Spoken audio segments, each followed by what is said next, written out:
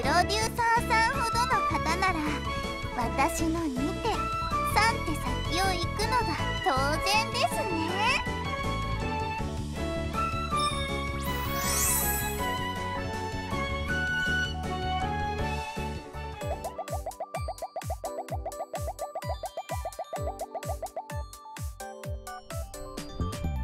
今日はいつもメールでしかやり取りできない子豚ちゃんたちと直に会えて嬉しいですね。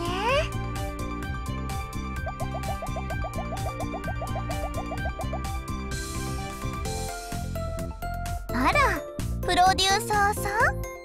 聖母として子豚ちゃんの声に応えるのは当然の責務ですよ。それよりどうしたら子豚ちゃんたちを喜ばせられるか意見を聞かせてもらえませんか？